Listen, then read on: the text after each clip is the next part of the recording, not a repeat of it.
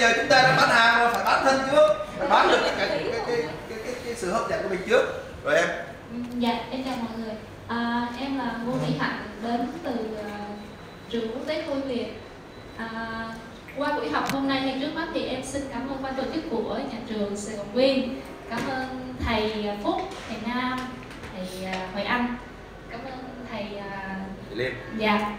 À, qua buổi học hôm nay thì nói chung mấy cái phần mềm mà app á, thì em cũng trải qua rất là nhiều cái phần mềm rồi. Nhưng mà là một cái phần mềm lúc nãy là phần mềm gì ta? Canva dạ không Canva thì là uh, Snapseed. Dạ Snapseed. À, lúc trước thì em có ờ, tải phần mềm đó về rồi. Nhưng mà cái phần chi tiết đi vào sâu á thì em lại chưa có đi sâu vào. Vô vào cái phần mềm đó thì thấy nó phức tạp quá thì em đã xóa phần mềm đó xong rồi học hôm buổi học hôm nay sau buổi học hôm nay thì em lại rút ra được cái, um, kiến thức nhiều hơn về áp dụng vào à, em bên truyền thông mà truyền thông của trường.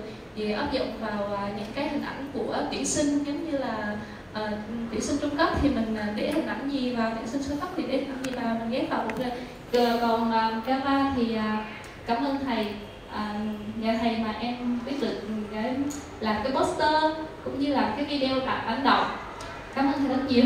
Rồi cảm ơn rồi người tiếp theo trong